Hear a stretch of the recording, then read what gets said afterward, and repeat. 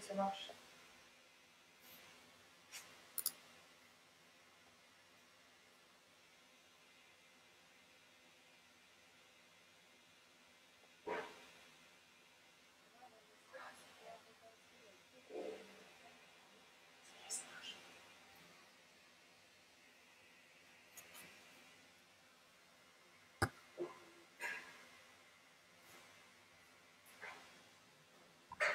Tu entends le son Ok, super. Merci.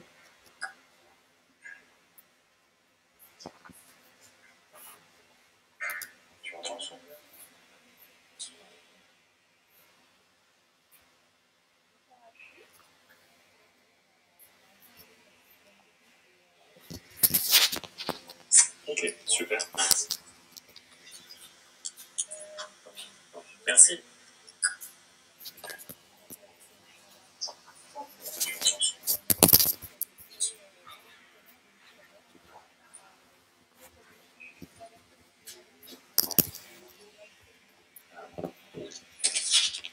Ok, super. Merci.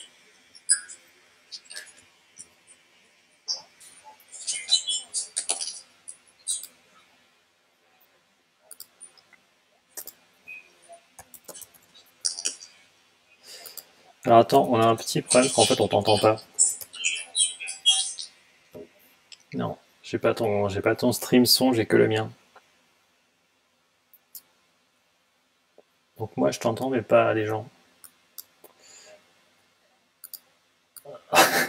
Euh, d'accord, bon, euh, on va essayer comme ça. Alors du coup, désolé pour le, euh, pour les petits problèmes techniques. Maintenant, vous savez déjà euh, une réponse à une de vos questions, qui est pourquoi la fusion ne marche pas, parce qu'on n'arrive pas à faire un live Facebook correctement et on ne sait pas faire une vidéoconférence. Euh, je vais essayer de vous parler. euh, donc ça va être un peu compliqué peut-être pour les questions, on va s'en sortir. Euh, je vais essayer de vous parler un peu de la fusion euh, ce qui pourrait être un peu surprenant vu le, thème de l'association, euh, mais qui est en fait un, sujet qui est assez, euh, assez emblématique au niveau énergie d'un futur qu'on essaye d'améliorer et qui pourrait aussi pour certains être un peu une fuite en avant technologique. Et je vais essayer de façon un peu brève, vu l'heure, de vous expliquer un peu ce qu'il en est, pourquoi on, s'acharne depuis euh, déjà à peu près 70 ans à essayer de maîtriser cette source d'énergie, euh, quelles sont les perspectives et à quelle échelle de temps ça pourrait être réalisable et pourquoi? Euh, donc juste une introduction très très rapide. Euh, mon opinion en tant que personne qui travaille dans l'énergie depuis un petit moment, c'est qu'il nous faudra un mix énergétique. Euh, aucune solution technologique ne permettra d'assurer euh, notre avenir énergétique à elle seule. Et donc on sera obligé d'utiliser un mix de différentes solutions, quelles qu'elles soient, et quelles que soient les choix qu'on décide de faire. Alors on aura un débat un petit peu plus tard sur le nucléaire. Euh, la fusion se place dans une de ces alternatives, dans une possibilité d'un mix énergétique, parce qu'elle a beaucoup d'avantages qu'on va essayer de, décrire un petit peu plus tard. Euh, et, mais vous m'entendrez jamais dire que la fusion est la solution ultime, comme on, peut parfois le, lire. Euh, Ça fera partie, à mon sens, d'un ensemble de solutions qu'il faudra déployer. Euh, alors on va parler de, nucléaire, qui est vite un gros mot euh, dès qu'on parle de fission nucléaire. Euh, tous ceux qui s'intéressent un peu au sujet de l'énergie en France savent qu'on est soit pro, soit anti, et il y a assez peu de, discussions entre les deux, à part des arguments un petit peu difficiles. Mais il y a deux façons en fait de faire de l'énergie nucléaire ou d'utiliser l'énergie nucléaire, c'est la fission et la fusion. Dans les deux cas, euh, ce qu'on fait, c'est que contrairement à une réaction chimique du type euh, la combustion du carbone, euh, vous savez 80% de notre énergie à l'heure actuelle vient de la combustion de, sources fossiles, charbon, gaz naturel et pétrole. Ce qu'on fait, c'est qu'on fait réagir du carbone avec du dioxyde de carbone pour former du CO2, euh, qui est évidemment un problème à l'heure actuelle. Euh, mais en fait, les atomes qui interviennent dans la réaction restent entiers. On a toujours les mêmes atomes, on les, réarrange juste en termes de différentes molécules. Quand on fait du, nucléaire, quand on utilise l'énergie nucléaire, on réarrange vraiment les atomes et on transforme les atomes. C'est-à-dire qu'à l'entrée et à la sortie, on n'a plus du tout les mêmes atomes. Euh, si on prend la fission nucléaire, ce qui est utilisé à l'heure actuelle dans les réacteurs français par exemple, les 56 qui restent en opération, euh, on casse en fait des atomes d'uranium en différents morceaux et on récupère l'énergie des neutrons qu'on fait sortir, qui font chauffer un fluide hein, et qui nous permettent de faire tourner des turbines. Donc ça c'est la première façon de générer de l'énergie nucléaire, on prend un gros atome et on le casse en, atomes un peu plus petits. Euh, et comment ça fonctionne en principe? En fait, on utilise l'équation qui a été euh, euh, découverte par un, physicien obscur en 1905, qui s'appelle Albert Einstein, qui dit qu'il y a une, équivalence entre masse et énergie. Euh, et quand on part en fait dans une génération nucléaire, on a une légère différence de masse entre les produits de la réaction et entre les, euh, réactifs au départ. Cette légère différence de masse se convertit euh, en énergie par cette formule. Donc en fait, la, réorganisation des atomes dans une réaction nucléaire nous permet de convertir un tout petit peu de masse. Il n'en faut pas beaucoup puisque la vitesse de la lumière qui est ici est extrêmement élevée. Euh, et on, produit extrêmement, euh, on produit pardon, beaucoup d'énergie, on a une source d'énergie extrêmement dense. Euh, la fusion nucléaire, l'inspiration, c'est le Soleil. Et en fait, toutes les étoiles, toutes les étoiles font de la fusion nucléaire quand on y regarde de, très près. le Soleil, par exemple, brûle l'équivalent de 600 millions de tonnes d'hydrogène chaque seconde pour former en une seconde l'équivalent de la quantité d'énergie qu'on utilise sur Terre par an. Euh, donc on a une source d'énergie qui est extrêmement euh, forte au niveau des, étoiles.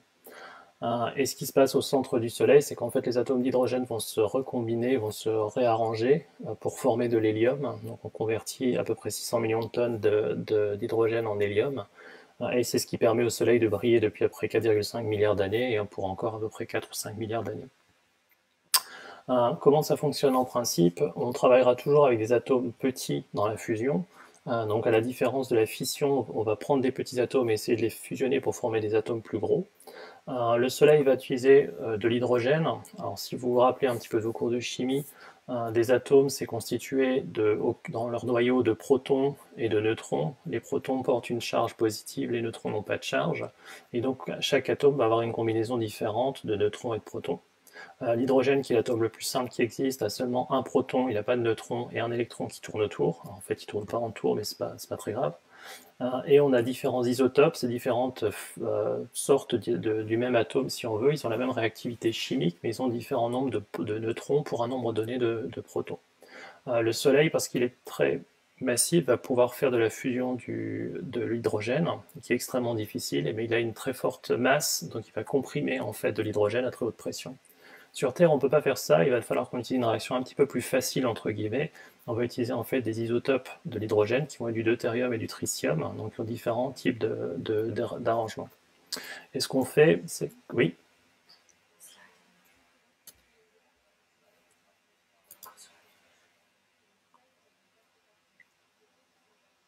Euh, ben, je pense qu'il va falloir qu'on refasse un autre coup, alors du coup, je sais pas.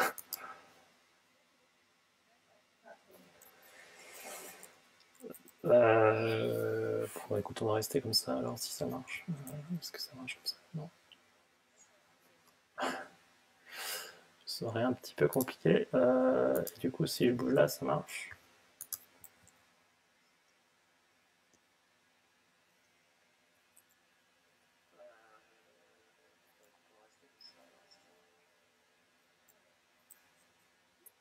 Ok, euh, bon donc désolé pour tout ça.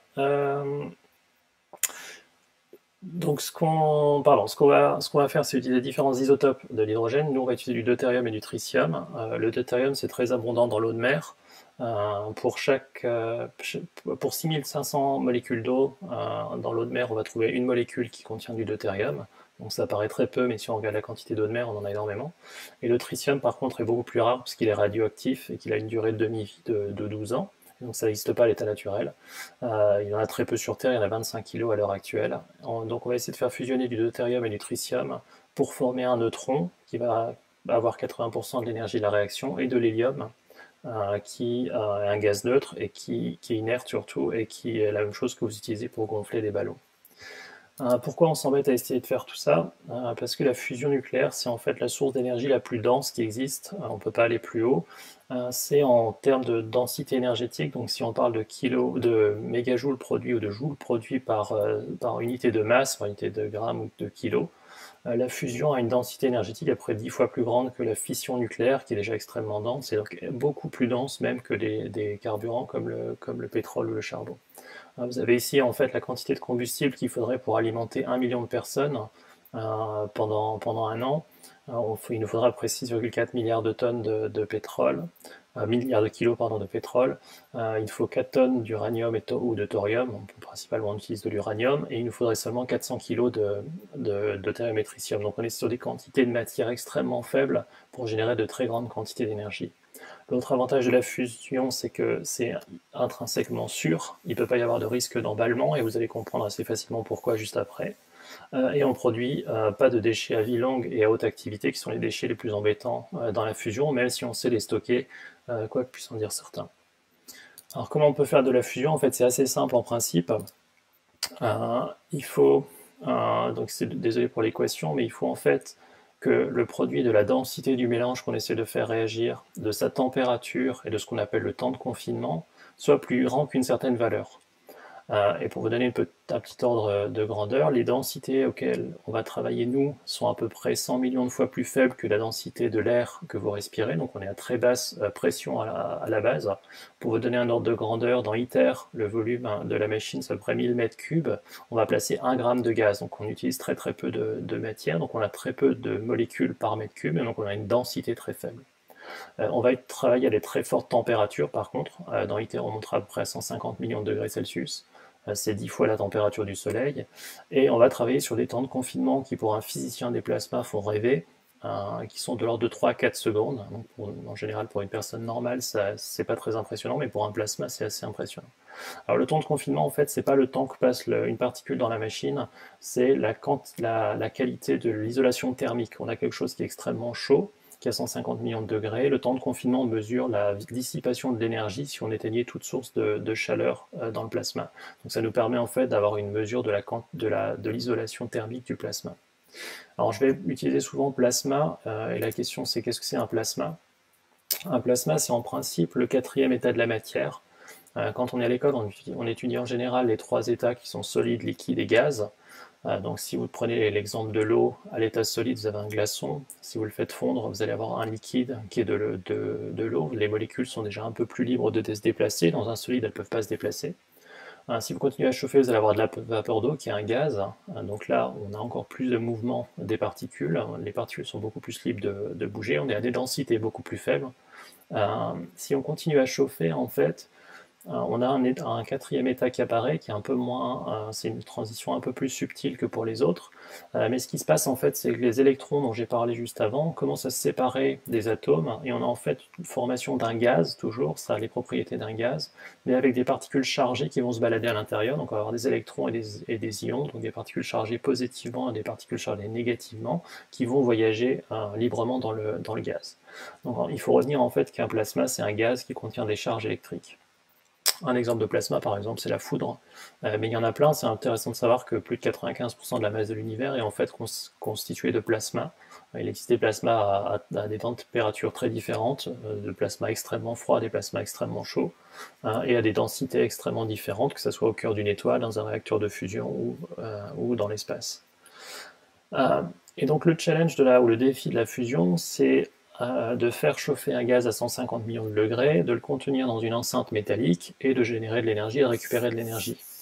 Euh, si je vous disais que c'est mon pari pour produire de l'énergie, c'est mettre un gaz à 150 millions de degrés dans une enceinte solide, ça paraît pas super euh, malin comme plan, on, imagine assez facilement qu'on va avoir des problèmes de tenue des matériaux. Et tout le challenge de la fusion, c'est justement de faire en sorte que ce gaz très chaud soit contenu dans une enceinte solide sans abîmer cette enceinte solide tout en étant euh, stable, entre guillemets.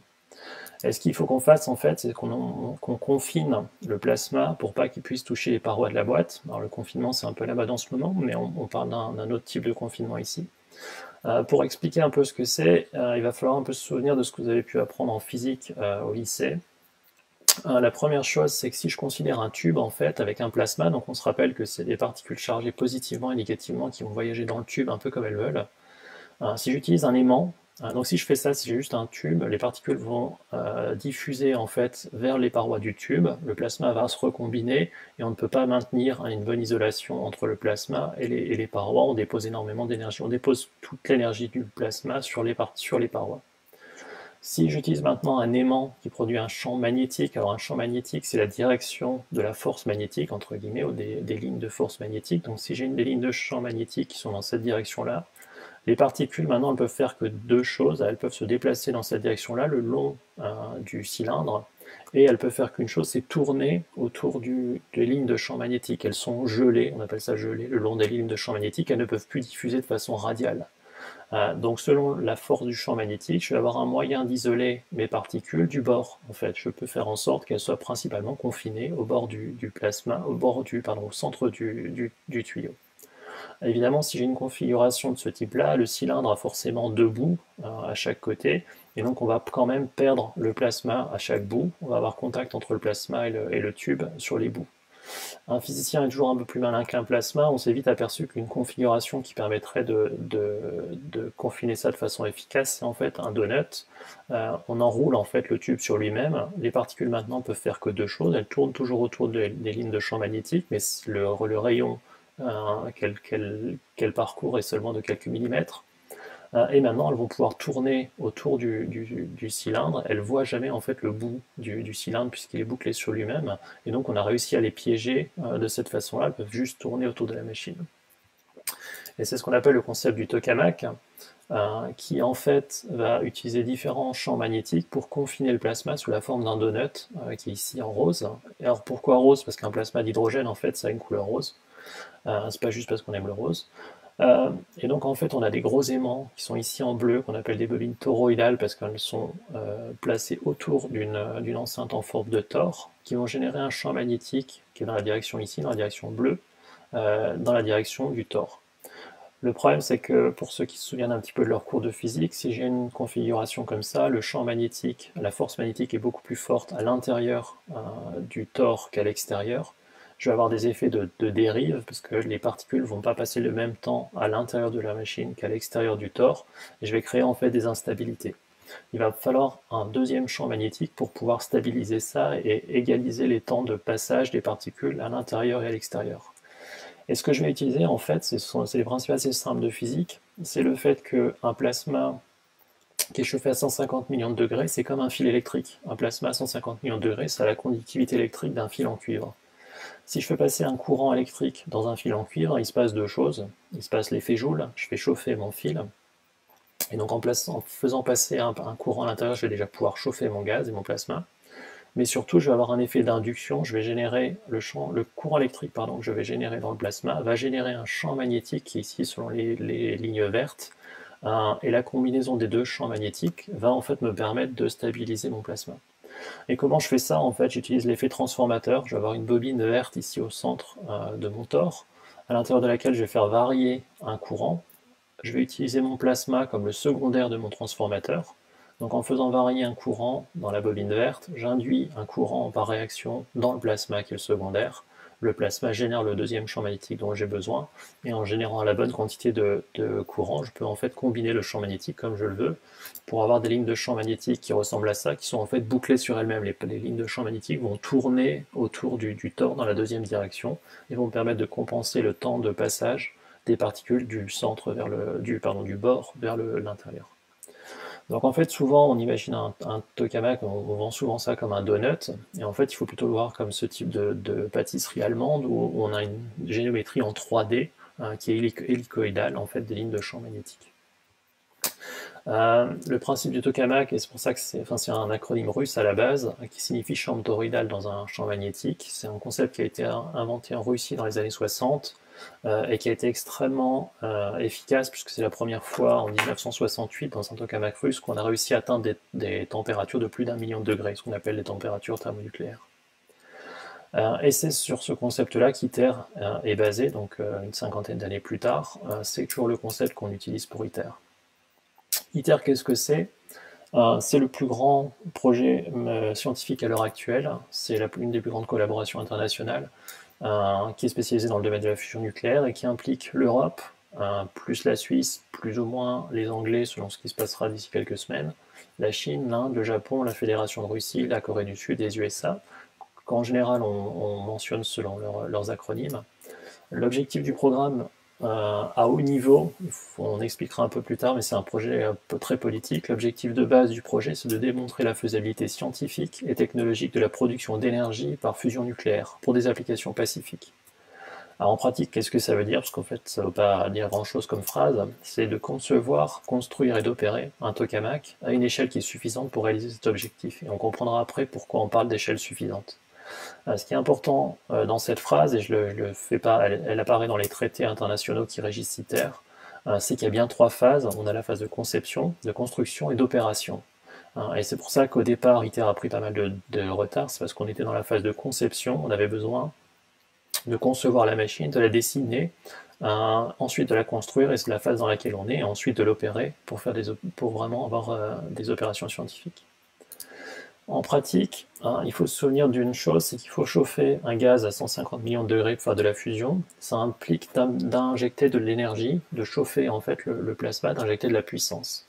Et il faut imaginer un réacteur de fusion nucléaire comme un amplificateur de puissance. C'est-à-dire que l'idée d'une centrale nucléaire, c'est que j'injecte un peu de, puissance et j'en récupère beaucoup plus par la réaction de fusion nucléaire. Donc dans, la fusion, on parle toujours du rapport entre la puissance qu'on a produite par la fusion elle-même sur la puissance qu'on injecte pour chauffer le plasma. Je vais toujours avoir besoin de chauffer le plasma. Euh, la puissance produite par la fusion, on l'a dit tout à l'heure, c'est euh, la puissance qui est, euh, qui, est, qui est, emmenée par les neutrons qui vont déposer leur énergie sur les bords des parois, et la, la, chaleur qui est produite par les particules alpha, qui sont en fait les particules d'hélium qu'on va former, divisé par la puissance de chauffage. Le but d'ITER, c'est de produire ce qu'on appelle un plasma qui est dominé par son propre chauffage, qui on appelle ça auto-entretenu, c'est-à-dire que le plasma va générer en fait plus de chaleur que nous, on peut en fait lui, en, injecter. Euh, et ça veut dire qu'en fait, ce terme-là ici, hein, la puissance qui est produite par les particules d'hélium va être plus grande que la, puissance que nous, on peut injecter. Dans ITER, le, choix a été fait que le plasma puisse générer deux fois plus de puissance thermique, donc il le chauffe lui-même, que ce que nous, on peut injecter. Et en fait, quand on regarde cette équation-là, ça implique qu'on a besoin de produire un gain d'amplification de 10, euh, donc 10 fois plus de puissance en sortie du plasma qu'en entrée. Donc notre objectif c'est de produire 500 MW, alors c'est des mégawatts thermiques, on ne fera pas d'électricité dans ITER, euh, pour 50 MW thermiques injectés, et le tout pour une durée d'à peu près 400 secondes. Euh, ça c'est le premier objectif d'ITER et celui qui est en général le plus, le plus mentionné. Il y a d'autres objectifs à pas plus tard qui consistent à opérer ce qu'on appelle en mode stationnaire, c'est-à-dire où le plasma va générer son propre courant électrique. Euh, et s'il génère son propre courant électrique, en fait, on n'est plus limité sur une certaine durée de décharge, on pourra peut-être en parler plus tard.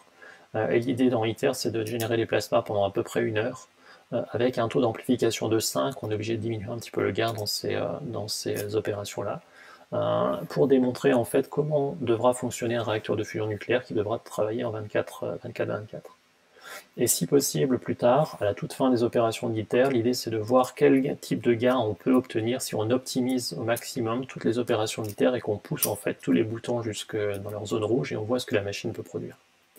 Il y a aussi quelques objectifs technologiques qui sont en fait de, de tester les différents composants qui sont requis pour une centrale électrique plus tard, euh, et de montrer qu'on est capable de tout intégrer, d'opérer une machine qui est aussi complexe, on va voir pourquoi, euh, euh, et qui seront nécessaires. Enfin, c'est la première fois qu'on fera ce genre d'opération et d'intégration de, composants qui sont aussi compliqués et de les faire tous tourner en même temps. Euh, ITER, c'est, alors je vais cette slide là parce qu'en fait il n'y a pas d'animation du coup, c'est un projet qui est assez ancien, l'idée est née pendant la guerre froide en 1985, l'idée a été émise par un académicien qui s'appelle Velikov, euh, qui était assez proche de Gorbatchev à l'époque. Pour ceux qui se souviennent, 85, on est en pleine guerre froide entre l'URSS, euh, qui était le nom de la Russie à l'époque, et les États-Unis.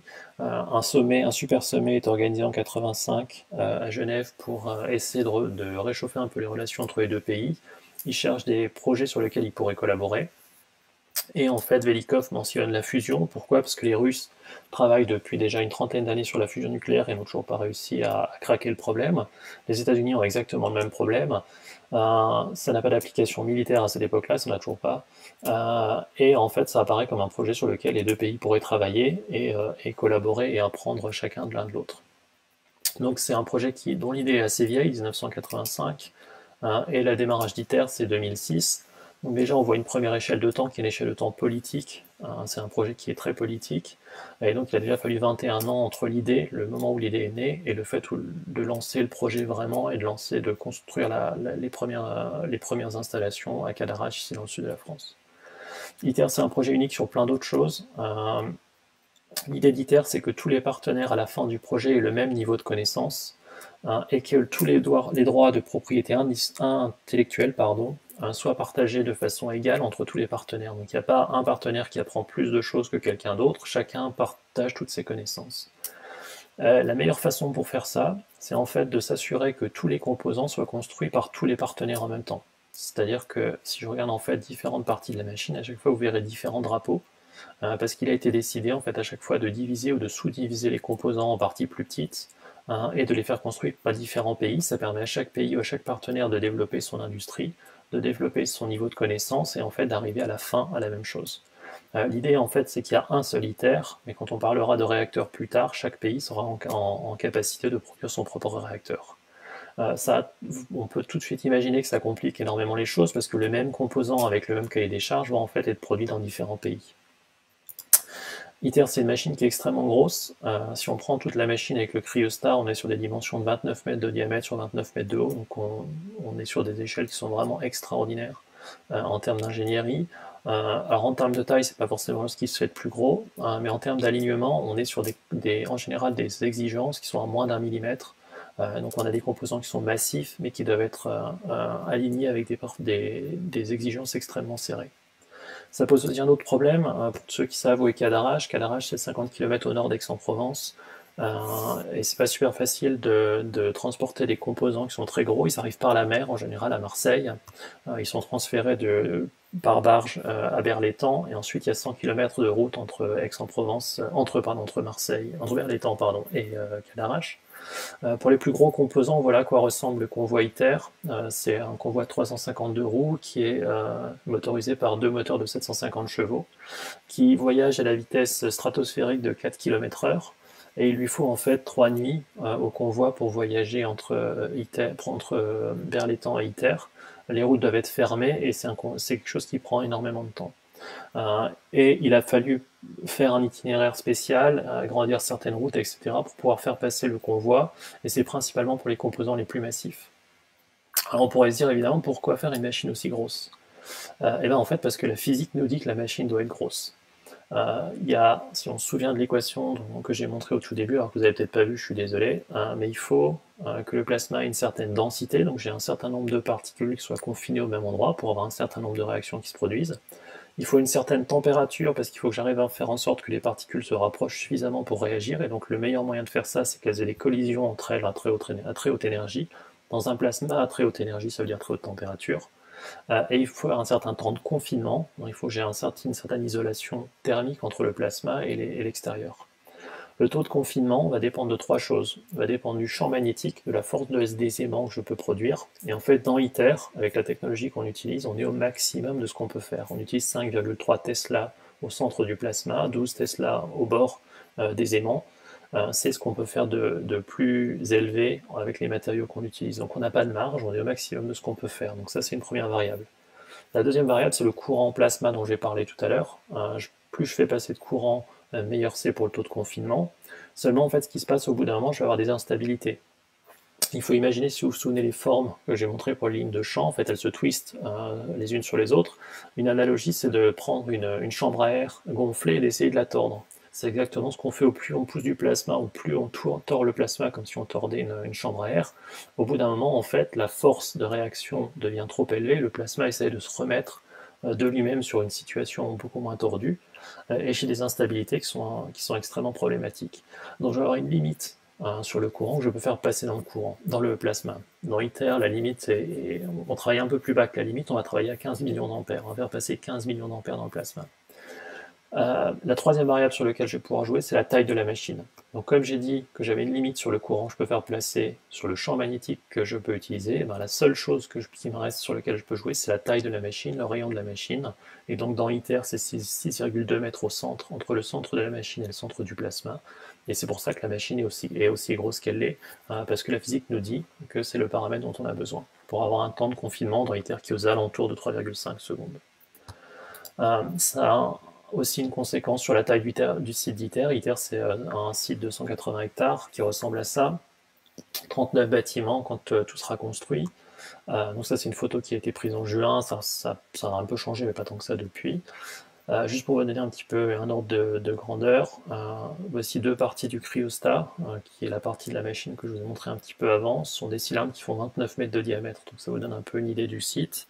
C'est une usine, et quand tout à l'heure je parlais du fait qu'ITER était une machine qui était à l'échelle suffisante pour atteindre l'objectif qu'on s'est fixé, c'est parce qu'en fait une, usine de production électrique ne sera pas beaucoup plus grosse que, le site d'ITER. On est déjà sur les échelles qu'une usine de démonstration aurait. Euh, donc voilà où la machine sera installée. En, vitesse, en fait, la machine est installée à l'intérieur d'une enceinte, on pourra en parler pendant la question, mais à l'intérieur d'une enceinte biologique, euh, qui est enceinte en béton avec des murs de 2,50 m d'épaisseur pour euh, absorber les rayonnements. Elle est enterrée à moitié, la moitié de la machine est sous le niveau de la terre. et on est, elle est installée dans ce qu'on appelle un complexe tokamak, qui est ce bâtiment ici, qu'on voit ici, euh, qui est constitué en fait de trois parties. Le bâtiment, on a vraiment le tokamak, euh, l'usine de tritium qui est d'un côté et l'usine diagnostique, ah, ils sont dans l'autre sens, pardon, euh, l'usine de diagnostic qui est ici et l'usine de tritium qui est là. Ces trois bâtiments sont en fait sur la même plateforme sismique. Donc en fait, les trois bâtiments sont construits sur une dalle de béton qui fait 1,50 m d'épaisseur et qui est elle-même posée sur 492 plots euh, en béton qui font 1 mètre, mètre sur 1 mètre sur 1 mètre à peu près, c'est des cubes, sur lequel on a 20 cm d'élastomère, donc du caoutchouc, et en fait on pose la dalle de béton au-dessus et on construit les bâtiments au-dessus. Pourquoi que comme ça, si jamais on a un, séisme, ce qui n'est pas, pas impossible, les trois bâtiments principaux ne peuvent pas bouger les uns par rapport aux autres, ils bougent de la même façon et ça évite les, ruptures et ça permet d'avoir un bâtiment plus résilient.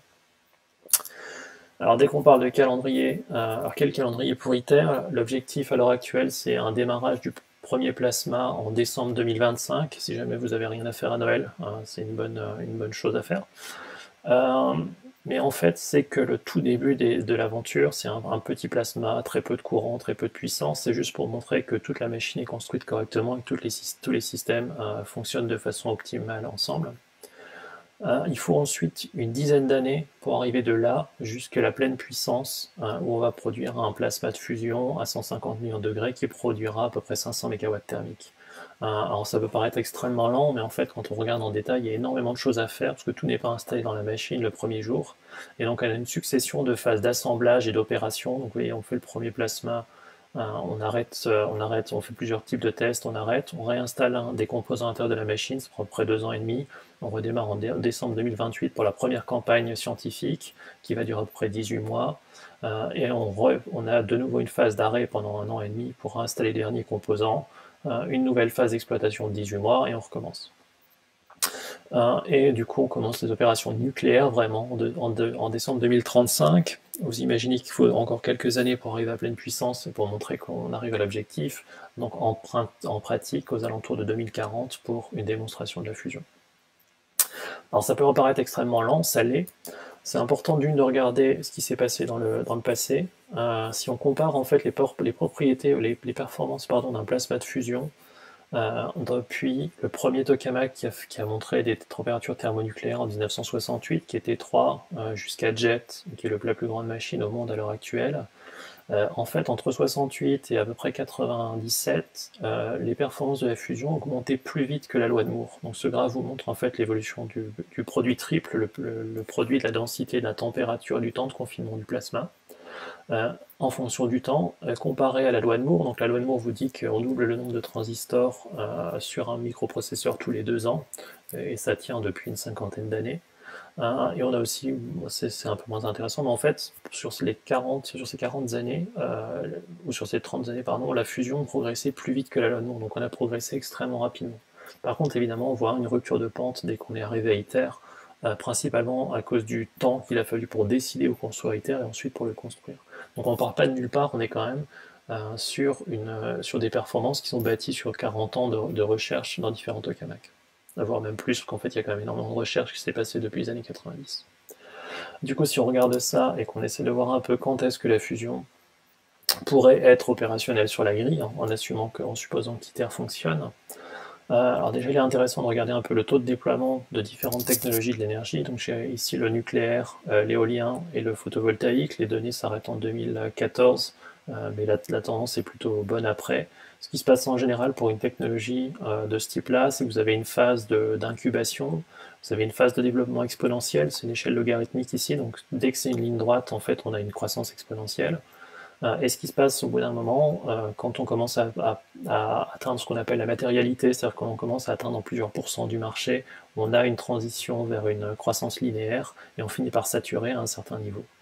Alors pourquoi? Parce qu'en fait, une fois que vous arrivez à plus d'un 2% du marché, euh, dans, l'énergie du moins, donc avant 1%, personne ne vous remarque, vous pouvez construire des usines, personne ne le voit sur la grille électrique.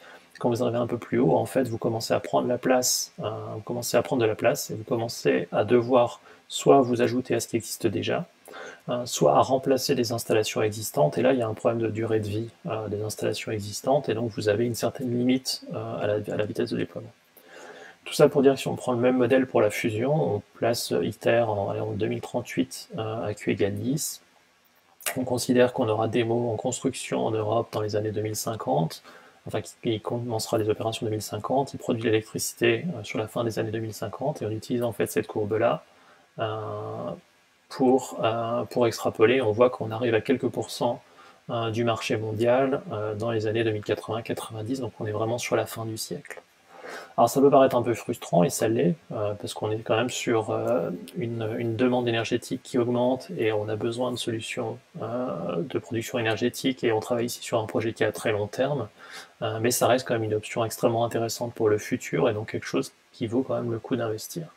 Alors beaucoup de gens sont frustrés euh, par, ces, euh, par ces échelles de temps. Il y en a beaucoup d'entreprises privées qui ont commencé à se développer ces dernières années. Alors c'est c'est pas forcément tout à fait récent. La première entreprise privée s'est développée dans les années 90, euh, s'appelait Troy Alpha à la base, maintenant ça s'appelait TAE, euh, qui a lancé un peu les choses. Maintenant, on a un grand nombre d'entreprises, on en a 28 qui sont comptées à l'heure actuelle, euh, qui essayent en fait d'aller plus vite, qui veulent montrer qu'ITER est en fait beaucoup trop lent et décident d'utiliser des fonds privés cette fois-ci pour développer la fusion de façon plus rapide. Euh, c'est intéressant de voir que, alors que la première entreprise s'est créée dans les années 90, il y a vraiment eu un boom en fait euh, ces dernières années, euh, depuis 2010, principalement 2008-2010, avec le nombre d'entreprises qui a augmenté extrêmement vite. Toutes ces entreprises utilisent différents concepts. Il y a quand même des entreprises qui utilisent le même principe que le tokamak, le même principe qu'ITER, mais elles pensent qu'en prenant plus de risques, elles peuvent aller plus vite et accélérer le déploiement de la fusion. Alors on pourrait se demander quand même un peu naïvement pourquoi des investisseurs privés iraient de l'argent dans un projet qui va pas voir le jour, enfin qui produira pas quelque chose de substantiel avant 20 ou 30 ans? Euh, malgré tout ce que ces entreprises disent, il y a quand même des échelles de temps qu'on ne peut pas compresser. Donc une entreprise qui commence aujourd'hui, qui annonce un premier, euh, une première démonstration de la fusion en 2025-2026, construire un réacteur derrière, ça se fait pas en, deux claquements de doigts. C'est une installation nucléaire, il y a un problème de licence, enfin pas un problème, il y a un, un processus de licence nucléaire. donc ça prend minimum 15 ou 20 ans. Euh, c'est assez intéressant de voir que des investisseurs privés investissent sur des échelles de temps aussi longues. Alors pourquoi? Alors ça c'est mon, explication à moi, mais je pense que certains arguments sont corrects. Euh, la première, c'est que beaucoup de gens voient que ITER devient concret, la, construction progresse, donc ça devient, quelque chose de matériel, de matérialisé, hein, et donc ça donne confiance dans les, investisseurs, pour les investisseurs, pardon, qu'on sait à peu près ce qu'on fait. Il y a évidemment l'urgence climatique. Alors l'urgence climatique, c'est un petit peu une excuse, parce que si on regarde les échelles de temps dont j'ai parlé, euh, clairement, la fusion ne fera pas grand-chose pour le, pour le changement climatique, pour ou contre. Euh, elle ne pourra pas vraiment contribuer à la décarbonation de l'électricité. Euh, donc c'est un peu quand même, il y a un petit peu de greenwashing de dire on, on, investit dans une technologie prometteuse sous l'excuse climatique, tout en sachant qu'en fait on ne on, répond pas vraiment à la question mais ça joue quand même euh, le développement de nouvelles sources d'énergie. On a énormément de recherches dans l'énergie qui sont financées à l'heure actuelle et la fusion en fait partie. Euh, la fusion fait partie de ce qu'on appelle les high risk, high payoff, c'est-à-dire c'est des technologies à très haut risque. Alors très haut risque dans le sens ça a beaucoup de risques de pas marcher, euh, pas de risque nucléaire. mais si ça fonctionne, vous gagnez énormément d'argent en sortie parce que c'est une technologie unique et qui a vraiment beaucoup de potentiel. Et donc ça, ça attire certains euh, investisseurs qui voient qu'en fait on part pas de nulle part et qu'il y a peut-être quelque chose, une niche à aller chercher. Et alors jusqu'à l'année dernière, au moins jusqu'à fin 2019, c'est peut-être un petit peu moins vrai cette année, il y avait quand même une abondance de capitaux sur le marché, euh, de l'argent peu cher, euh, taux négatif un peu partout, et donc en fait beaucoup de gens cherchaient, enfin des gens un peu fortunés cherchaient des endroits où mettre de l'argent hein, et des projets technologiques avec le potentiel d'un gros retour sur investissement derrière, sont des choses que les gens pouvaient chercher. À l'heure actuelle, on considère qu'il y a à peu près 1,6 milliard de dollars, je crois que c'est des dollars, 6 milliards de dollars qui sont investis dans les entreprises privées pour la fusion et ça monte assez vite. Donc on est quand même sur des, euh, montants de financement qui commencent à être assez sérieux. Euh, il faut quand même savoir que sur les 28 entreprises, en fait, ce milliard et demi est quand même vraiment concentré sur 5 entreprises, 4 ou 5 entreprises. Euh, et donc, beaucoup des entreprises que j'ai pu montrer avant sont assez petites, en fait, et on peut se demander si elles ont vraiment un futur. Alors voilà, je vais arrêter là et essayer de prendre des questions. Alors, je pense que vous n'entendez pas Clémence, donc il faudra que je répète les questions qu'elle me transmet. merci pour votre attention en tout cas, j'espère que ça s'est pas trop mal passé. Si Clémence est encore là. Oui, je t'entends. Alors je devrais, je pense, répéter tes questions.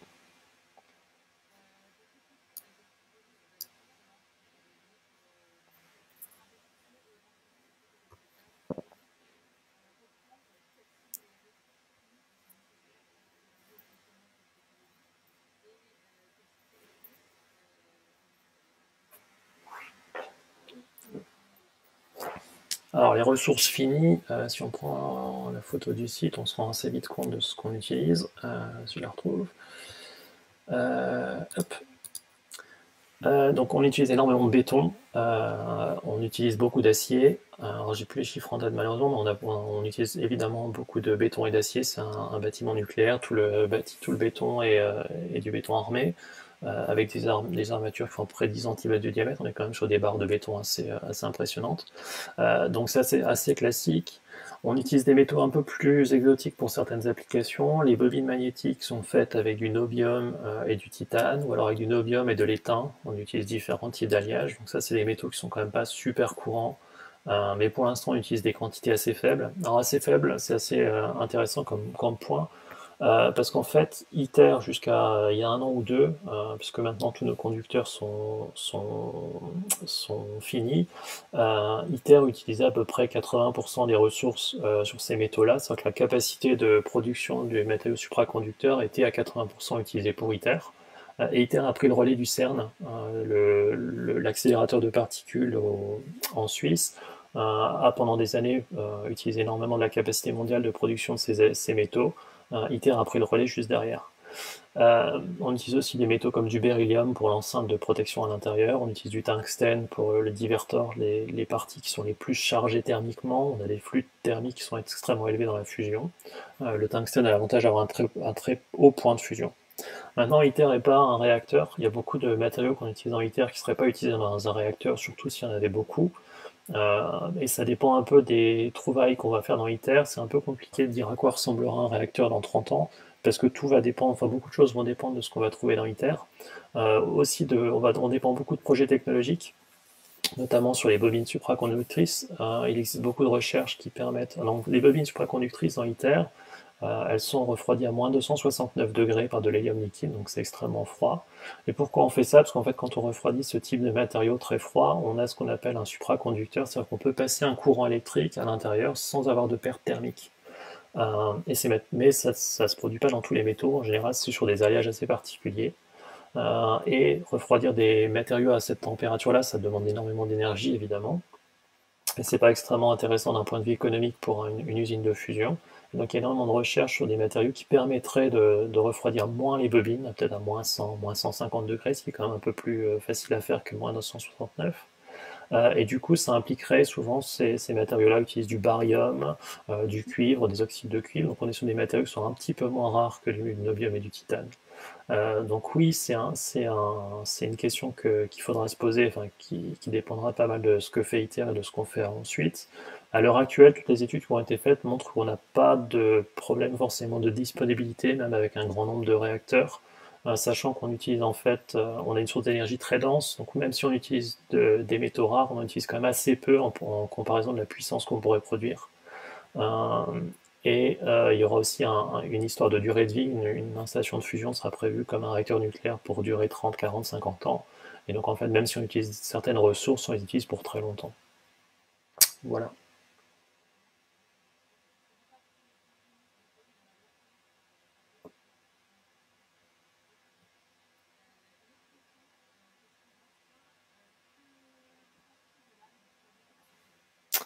Alors du coup, je répète parce que je vais pas répéter la question d'après. Donc Clémence prend la question de Bastien qui concerne l'arrêt du projet Astrid.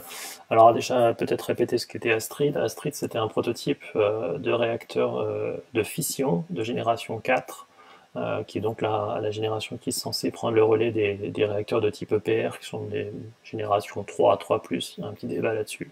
Et je suis pas le meilleur expert pour en parler. Euh, la génération 4 a l'avantage en fait de faire ce qu'on appelle de la surgénération, c'est-à-dire qu'on utilise beaucoup mieux le combustible nucléaire. euh, en le faisant, en, réutilisant beaucoup plus euh, l'uranium 238 et l'uranium 235 qu'on fait brûler.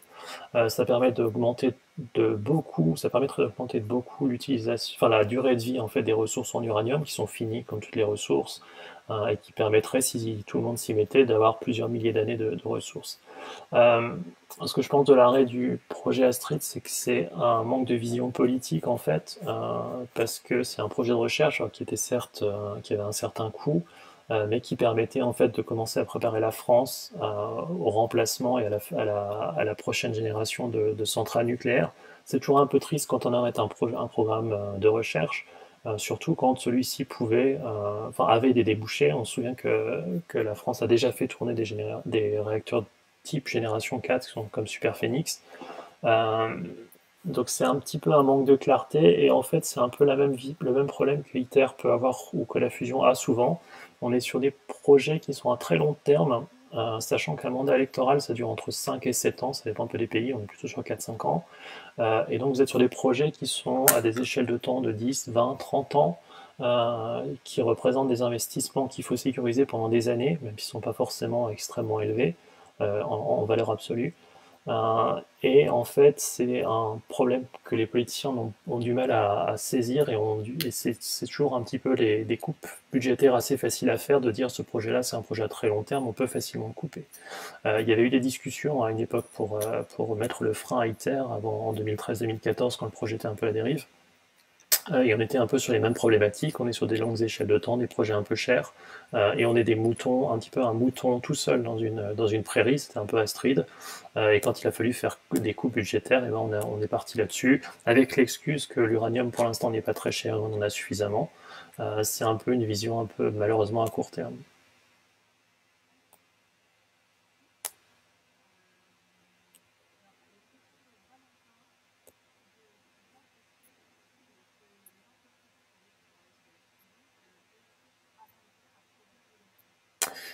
La question euh, de Valentin euh, qui demande si les entreprises privées qui se développent à l'heure actuelle pourraient euh, aller plus vite qu'ITER ou développer la fusion plus vite qu'ITER. alors, oui, ça dépend un peu de ce, dont on parle. Si on parle de montrer qu'il est possible de générer plus d'énergie par la fusion qu'on en injecte dans le plasma, oui, c'est pas impossible qu'on puisse aller plus vite qu'ITER parce qu'en fait, on se spécialise sur une chose et on fait un démonstrateur, on fait une expérience qui permet de montrer ça. Peut-être un petit retour en arrière, euh, j'en ai pas parlé en fait, euh, on a fait des expériences de fusion vraiment du deutérium dans les années 90 aux États-Unis, hein, dans, un labo qui est situé à Princeton. Euh, Princeton qui est connu pour, pour avoir hébergé Einstein pardon, quand il allait aux États-Unis. un labo qui s'appelle PPPL, Princeton Plasma Physics Lab, qui avait une machine qui s'appelait TFTR, qui était la première à utiliser du, du tritium. Et euh, Jet en Angleterre a fait les mêmes, le même type d'expérience. Il y a eu une petite compétition entre les deux. Euh, ces machines ont réussi à produire une dizaine de mégawatts de puissance fusion. Euh, donc c'était la première fois qu'on arrivait à faire ça. On a montré qu'on était capable de, contrôler le cycle et qu'on était capable de générer de l'énergie. Par contre, en termes de, gains, on était à peu près, le, record c'est 70%, donc on a récupéré 70% de l'énergie qu'on a injectée, ce qui évidemment pour une centrale n'est pas super intéressant parce qu'on perd de l'énergie en cours de route. Et en fait, la décision a été prise de passer directement à ITER, qui lui doit démontrer qu'on peut générer 10 fois plus d'énergie qu'on en injecte. Alors beaucoup de physiciens, euh, moi y compris, pensent qu'on aurait peut-être pu avoir en parallèle une étape intermédiaire qui montrait qu'on pouvait faire, je sais pas, un rapport de 2-3, c'est-à-dire de générer 2-3 fois plus d'énergie qu'on en injecte. Euh, et c'est un peu là-dessus que se basent toutes les entreprises privées, c'est de dire que dans d'ici 5 à 10 ans, souvent elles, parlent de 5 ans, mais bon, faut un petit peu lire entre les lignes, euh, c'est qu'elles puissent démontrer qu'on peut avoir un, plasma de fusion avec un gain supérieur à 1 à l'unité, donc c'est-à-dire qu'on génère plus d'énergie qu'on en ressort, qu'on en, pardon, plus d'énergie ressort qu'on en injecte, désolé. Euh, et donc oui, si leur objectif est de faire ça, oui, c'est possible d'aller plus vite, parce que vous allez faire une machine un peu plus petite, un peu plus optimisée juste pour ça. Sauf que ITER, encore une fois, c'est ça. ITER, c'est toute une usine. Hein. et le but d'ITER est de, montrer l'opération intégrée de plus de choses. Donc oui, je pense je pense que l'entreprise qui est à Boston à l'heure actuelle, qui s'appelle CFS, Commonwealth Fusion, a de très fortes chances de démontrer qu'on peut faire un rapport d'amplification de 2, 3, 4, 5 euh, un peu selon comment ils tourneront euh, d'ici 2025-2030, donc dans les 5-10 prochaines années.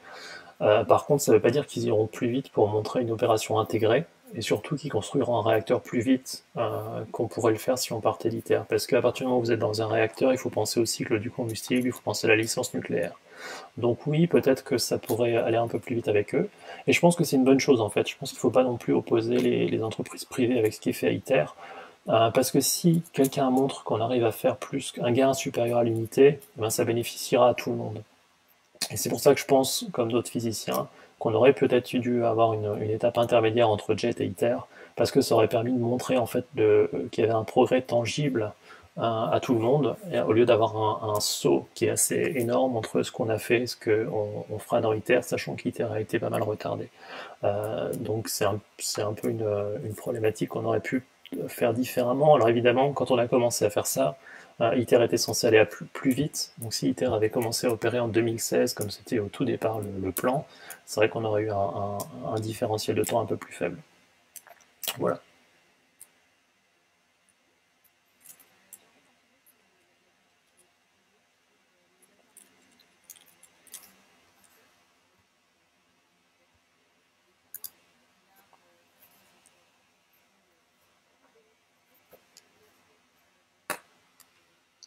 Alors la question concerne le, laser Megajoule, qui est une installation de, fusion qui est, construite et qui est en train d'être opérée en France euh, par le CEA. Euh, alors avant de, rentrer dans ce qu'est le laser Megajoule, euh, j'ai expliqué, je vais revenir sur ça que malheureusement tout le monde n'a pas vu, je suis désolé, mais qui est la base de la fusion. Donc la base de la fusion, c'est d'avoir ce qu'on appelle le produit triple, c'est-à-dire le produit de la densité du plasma, de sa température et de son temps de confinement, plus grand qu'une certaine valeur pour générer de l'énergie. En fait, comme c'est une inégalité, il faut que ce produit soit plus élevé qu'une certaine valeur. Je peux jouer sur différents paramètres. Euh, il va me falloir une température élevée, mais dans ITER, je vais travailler des densités très faibles. encore une fois, on a un gramme de gaz dans à peu près 1000 m3 de volume, donc on a très très peu de particules. Euh, et je vais avoir un temps de confinement, encore une fois, pour un plasma qui est assez long, qui est de quelques secondes. Ce que je pourrais essayer de faire, c'est de travailler avec des densités beaucoup plus élevées euh, et des temps de confinement beaucoup plus faibles. Et donc, c'est euh, les deux approches de la fusion qu'on appelle la fusion inertielle avec des lasers, qui va travailler des densités extrêmement élevées, euh, des températures qui sont encore assez élevées, euh, on est généralement une centaine de millions de degrés, et des temps de confinement qui vont être de l'ordre du, du, millionième de seconde, donc une seconde divisée par un million. et c'est ce que, veut faire le, laser mégajoule. Donc le laser mégajoule, à quoi ça ressemble? À ça. Euh, l'idée, c'est d'avoir une petite capsule en fait, euh, qui est située au centre d'une chambre euh, métallique qui fait à peu près 20 mètres de diamètre, il me semble, et qui va être chauffée par 180. Alors dans, le laser mégajoule, c'est 180 lasers à très haute énergie. On va avoir une impulsion laser qui va faire quelques. alors il faut que je traduise les unités en quelques millièmes de millionièmes de seconde, donc on est sur une impulsion extrêmement courte et on va en fait venir avec ces lasers comprimer la cible qui est faite en deutérium tritium, euh, obtenir des densités qui vont être des milliers de fois plus, plus élevées que la densité d'un solide, donc on est vraiment dans des, dans des matières extrêmement denses, euh, et faire ça pendant un temps très court pour générer de l'énergie. L'idée c'est toujours d'avoir une pression très très forte pour, euh, pour faire que la fusion se produise.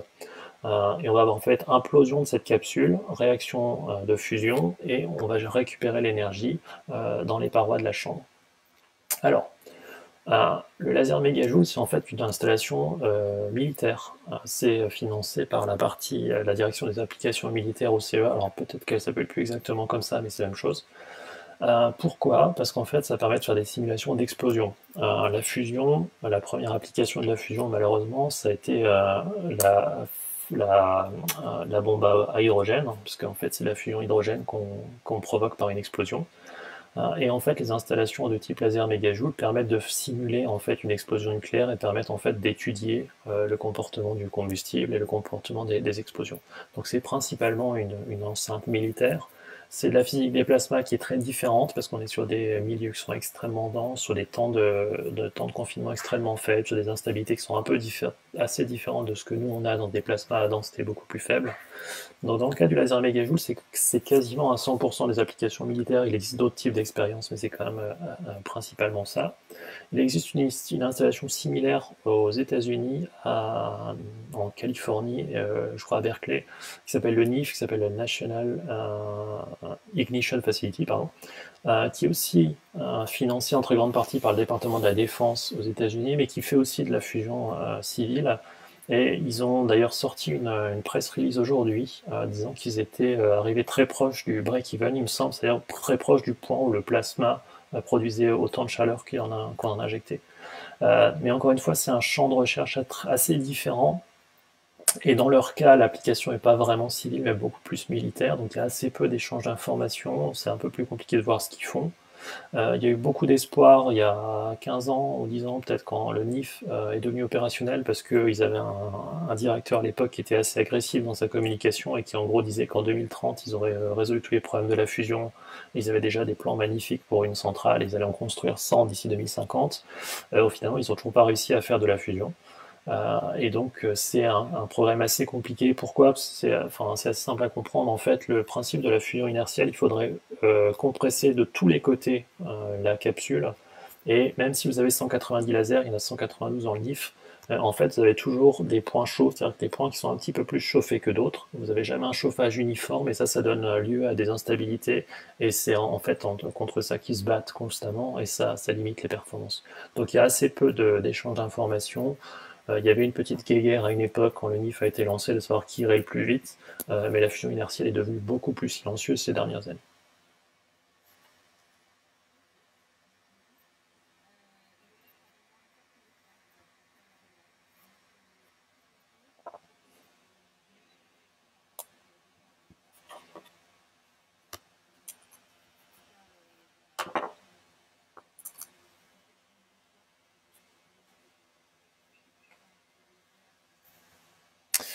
Alors la question est assez personnelle, c'est sur euh, la perspective que je donne moi à la fusion, euh, comme personne étant consciente des limites planétaires. Euh, alors déjà, je vais commencer par dire ce que la fusion n'est pas pour moi, et c'est malheureusement quelque chose qui est souvent communiqué. la fusion ne va pas sauver le monde, la fusion n'est pas la réponse à tout, et n'est pas, n'est pas la réponse à notre soif d'énergie. parce que comme j'ai dit au tout début de l'exposé, on aura besoin d'à peu près tout ce qu'on va pouvoir utiliser. Et donc pour moi la fusion c'est une possibilité d'avoir de l'énergie décarbonée relativement abondante euh, à l'échelle de la fin du siècle. Euh, le problème c'est que d'ici la fin du siècle il va se passer énormément de choses.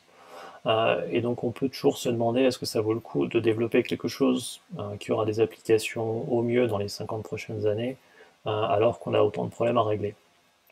Alors, il y a plusieurs euh, facettes à cette question. La première, souvent, on est ITER est attaqué sur son coût. C'est vrai que c'est un projet extrêmement cher. On est sur euh, euh, les dernières estimations, soit près 22 23 milliards d'euros.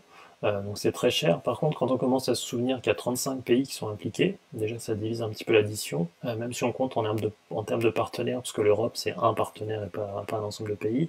si on divise 23 milliards par 7, on est quand même sur des sommes un peu plus faibles. Et si on se rappelle que le projet est né en 2006, euh, enfin démarré en 2006 et qu'on est en 2020. Euh, premier placement en 2025, donc 20 ans, 23 euh, milliards divisé par 20 ans divisé par 7 partenaires, on n'est quand même pas sur des budgets qui sont extrêmement fous, surtout si on compare au, financement qu'on donne aux, combustibles fossiles. donc mon avis c'est qu'on serait un peu on serait un peu bête, entre guillemets, d'arrêter la fusion maintenant sur des prétextes comme ça, parce qu'on est quand même, on n'a jamais été aussi proche de voir si ça marche ou pas. Hein, et c'est quand même, ce serait quand même dommage de se passer d'une option hein, comme la fusion nucléaire si elle fonctionnait. S'il se trouve que ITER montre que ça fonctionne pas, on sera fixé, on n'aura pas besoin de continuer. Euh, si ITER fonctionne très bien, euh, les politiques de l'époque auront toujours le choix de dire qu'ils ne veulent pas continuer, mais je pense qu'on aurait tort de, se priver de ça. Maintenant, l'autre chose qui est souvent mentionnée, en fait, c'est que dès qu'on parle de nucléaire, on parle entre guillemets d'abondance énergétique, et on dit bah, c'est l'abondance énergétique qui nous a emmenés euh, là où on est, et donc c'est pas la solution. je pense qu'en fait, il faut distinguer notre besoin de, de produire de l'énergie, de la façon dont on le produit et surtout de la façon dont on l'utilise. Euh, clairement, il va falloir qu'on change de façon de faire et qu'on devienne plus sobre, un peu plus, euh, un peu plus rationnel dans la façon d'utiliser de l'énergie, mais on en aura quand même besoin.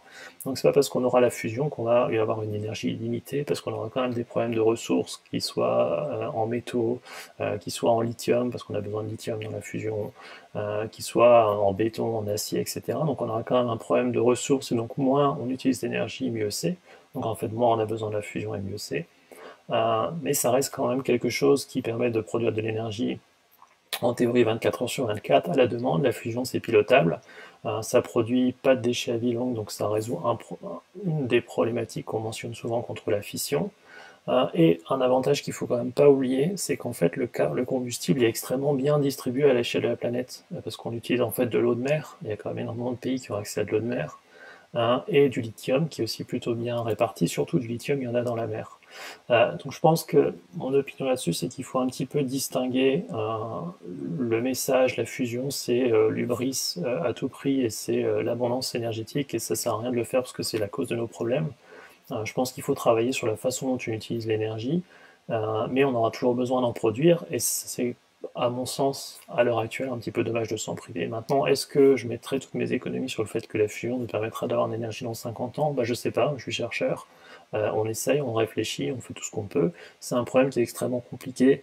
Il euh, faut se souvenir, euh, enfin, il faut se souvenir, je ne l'ai pas dit, mais il y a deux problèmes physiques qui sont extrêmement compliqués à résoudre. Il y en a d'autres, mais les deux plus, plus charismatiques sont le climat. On sait que les simulations climatiques sont extrêmement demandeuses en puissance de calcul. et on fait beaucoup de progrès parce que les puissances de calcul augmentent. Et ça nous permet de, ça permet, pas nous, mais ça permet de complexifier les modèles et d'être de plus en plus précis.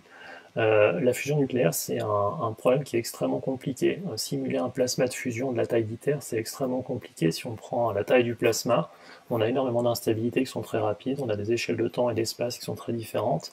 Et pour vous donner un ordre d'idée, euh, quand, quand les premières simulations sur des super ordinateurs d'un plasma d'ITER ont commencé à être faites il y a 6-7 ans, on utilisait l'ordinateur qui à l'époque était le plus puissant au monde, qui était à Oak Ridge, qui s'appelait Titan. Euh, et il a fallu à peu près un mois de calcul à temps plein pour simuler 10 millièmes de seconde d'un plasma d'ITER. Ça vous donne un peu les ordres de grandeur, euh, de puissance de calcul dont on a besoin et de complexité. Et en fait, ce qui s'est passé à l'époque, c'est qu'on a craché le, système de stockage des données et euh, l'ordinateur a été quelques jours sans pouvoir tourner, ce qui était pas très très glorieux pour nous. mais ça montre un peu la complexité du problème et c'est aussi une des raisons pour laquelle ça met un peu de temps à, se faire. donc voilà, donc je pense que c'est la fusion, si ça fonctionne, c'est quelque chose qui sera utile, hein, mais qui sera utile dans une utilisation raisonnée hein, et rationnelle de l'énergie. Ça ne permettra pas de continuer à, avoir une croissance énergétique, ou de croissance de la demande énergétique euh, continuelle comme on peut l'avoir à l'actuel. Euh, il y aura toujours des limites, hein, il faudra les respecter, c'est juste que ça nous permettrait quand même d'avoir une énergie assez, assez pratique. Voilà.